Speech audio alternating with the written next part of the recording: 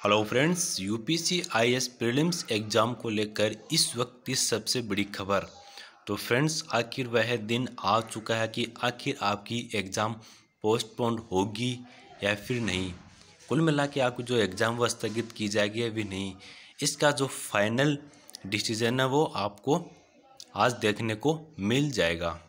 तो फ्रेंड्स, जैसा कि आप जानते हैं कि आज यानी कि कुल मिला के 28 सितंबर 2020 को इसकी सुप्रीम कोर्ट के अंदर सुनवाई होने वाली है। तो आखिर कितने बजे इसकी सुनवाई स्टार्ट होगी? तो इसके अंदर आपका जो आंसर है वो रहेगा, लगभग साढ़े दस बजे के आसपास वो यूपीएससी आईएएस प्रीलिम्स एग्ज़ाम को लेकर कोर्ट के अंदर सुनवाई होने वाली है कि इस इस परीक्षा को स्थगित किया जाए या फिर चार अक्टूबर को यह एग्ज़ाम आयोजित होगी। तो फ्रेंड्स, अभी साढ़े दस बज चुके हैं, यानी कि कोर्ट के अंदर इसकी सुनवाई शायद स्टार्ट हो चुकी होगी। तो कुल मिला के इसका जो फाइनल डिसीज़न है वो, यानी कि पोस्टपोन होगी या फिर नहीं, इसको लगभग आपको तीस से पचास मिनट, यानी कि आप मान सकते हैं, ग्यारह, साढ़े ग्यारह बजे के आसपास वो इसका फाइनल।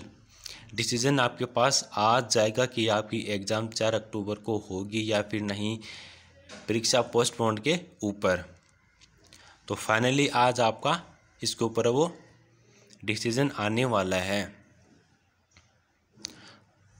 तो फ्रेंड्स ऐसे ही अपडेट पाने के लिए आप हमारे यूट्यूब चैनल को सब्सक्राइब और साथ ही बेल आइकन को प्रेस करना ना भूलिएगा और साथ ही वीडियो को लाइक और शेयर भी करें। धन्यवाद।